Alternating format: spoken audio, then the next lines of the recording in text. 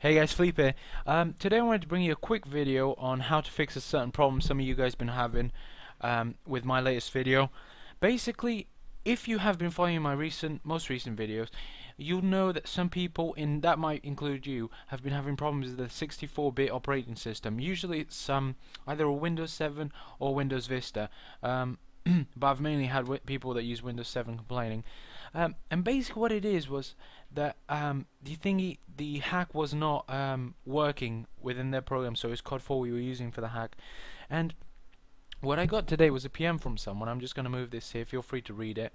And um, so I got a PM from a guy called dobbias1. Um, I'm pretty sure he's one of my subbies. And um, you know, it was really nice of him to take the time to help me out sort this problem because I was about to install Windows 7 64-bit on my system to figure out what the problem was because I thought it was in the code. So basically what he says here was that uh, because that um, is a C-sharp injector and it was compiled for probably 86-bit only. Now he's assuming this, but he's most likely right. It doesn't work. Oh, sorry, it was compiled for 32-bit um, only. I meant it doesn't work for 64-bit. Now, as he says here, the person that compiled GX Inject should have chosen um, to have um, any CPU instead of the specific operating system that uh, he chose. So, um, what he's saying basically is that you can use any uh, injector. So now, I sh what I should have done, I should have given you something like auto inject or whatever.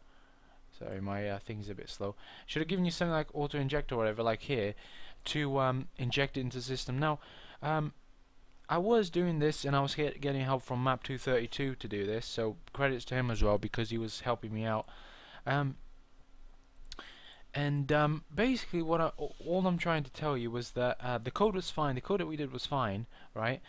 But the problem was that the injector wouldn't work for 64-bit. So what I'm probably going to do is I'm going to make a new tutorial where we'll I'll probably remake the whole um, the, uh, the wall hacks tutorial. Probably remake that whole thing.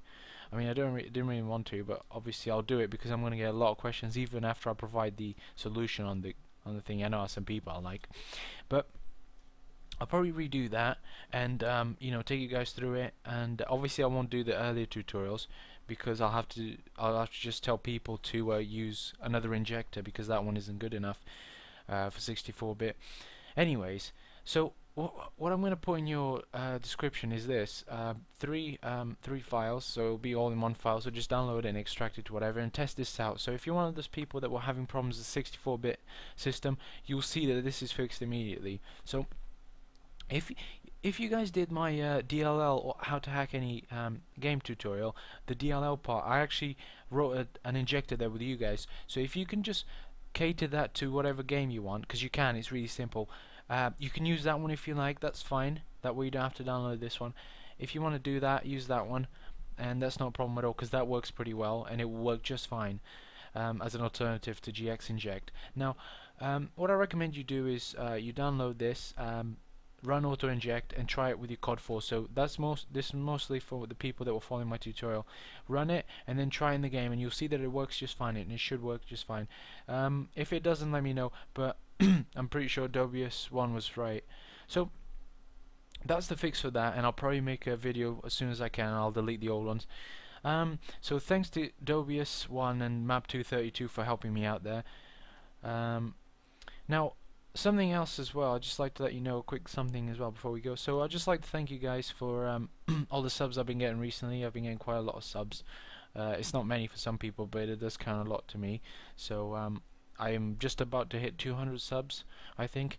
Um, and I'm also about to hit 200,000 views, so that's great as well. So I'd like to thank you guys for that, even though that was from one of my old videos that I deleted, um, a Left 4 Dead video, but that got me like 150,000 out of the full 200, but that doesn't matter. uh, so thanks for that, guys. I really appreciate you guys leaving feedback on my videos and um, let me know what you think of them. Um, and you know, if it wasn't for you guys, I wouldn't be doing this. So, just like to let you know that um, I do enjoy making these videos, and I really enjoy the feedback.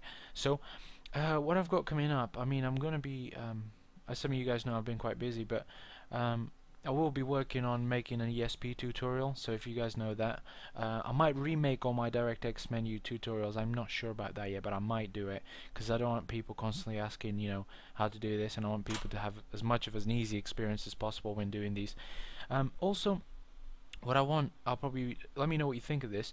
What I've got coming up is um, a how to crack any program tutorial. I haven't actually wrote that yet, but it, it should be really simple.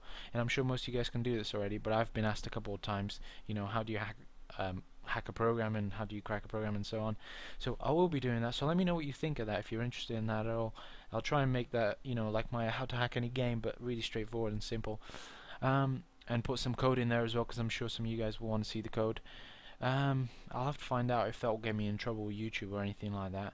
But um, yeah, so I'd just like to leave you this quick video to let you guys know about this. And um, yeah, thanks for watching, guys. See ya.